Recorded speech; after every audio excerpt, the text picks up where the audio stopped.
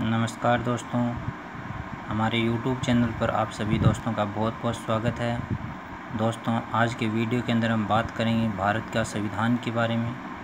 भाग चार, कै के अंदर नागरिकों के मूल कर्तव्य हैं।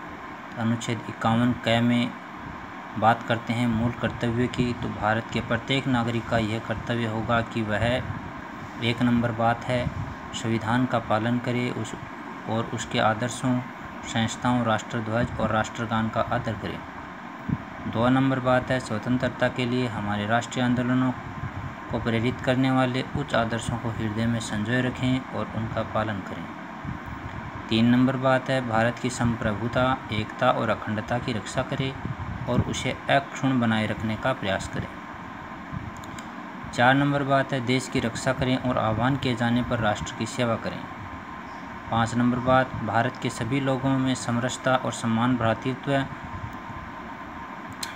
की भावना का निर्माण करें जो धर्म, भाषा और प्रदेश या वर्ग पर आधारित सभी भेदभावों से परे हों, ऐसी प्रथाओं का त्याग करें जो महिलाओं के सम्मान के विरुद्ध हों। छः नंबर बात है, हमारी सामसिक संस्कृति की गौरवशाली परंपरा का महत्व समझें और उनका परिरक्षण करें।